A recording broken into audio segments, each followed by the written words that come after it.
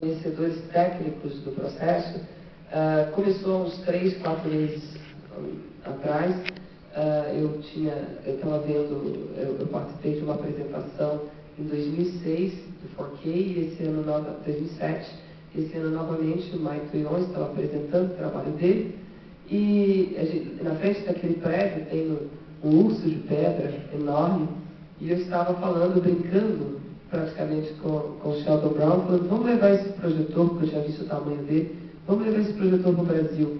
E ele calmamente, desse jeito dele, como ele é, disse, sim, claro, vamos pensar em levar isso para o Brasil.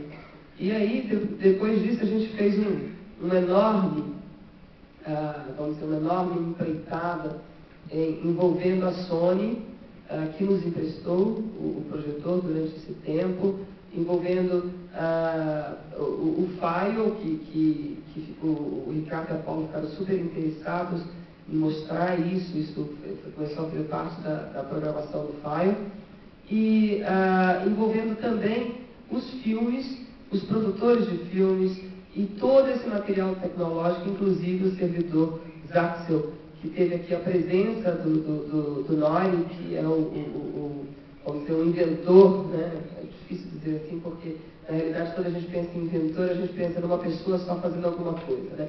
mas uma das pessoas que participou do processo de, de, de produção desse enorme servidor que possibilita a projeção ah, em, em, alta definição em 4K.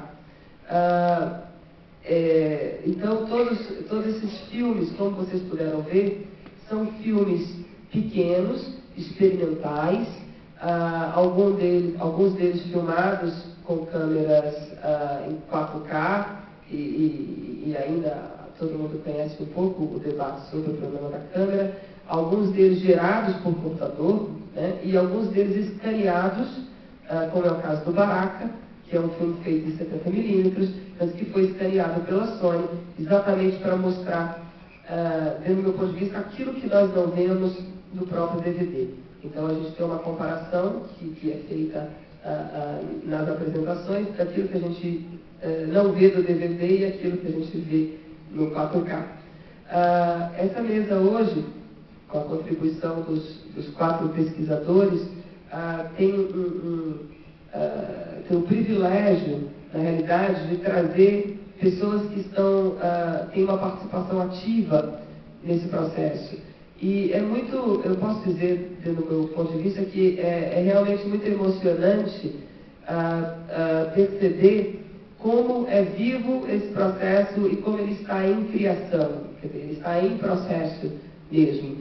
esse tipo de, de problema técnico uh, não dá certo, volta, isso acontece o tempo todo. E uh, não apenas isso, mas também como eh, eh, esse tipo de projeção não é ainda um tipo de projeção estável, nós não temos a tecnologia pronta para a projeção, muitas são as possibilidades e muitas são as invenções para fazer com que, esse, uh, com que a gente tenha essa imagem em alta definição. Então, acho que o, o painel hoje deu para vocês perceberem ah, não só ah, a questão, ah, o, o, vamos dizer, a, a, tecnologia em processo, mas também as possibilidades, ah, o, o, futuro e a projeção dessa mesma tecnologia. Ah, eu queria agora ah, passar para as perguntas. A gente tem meia hora, 25 minutos para as perguntas e, e aí com, com tradução para eles.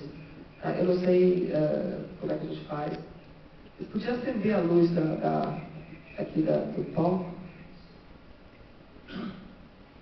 Alguém quer. Você quer falar? Ok. Alguém podia trazer um, um, um tradutor? Um, um, um aparelhinho?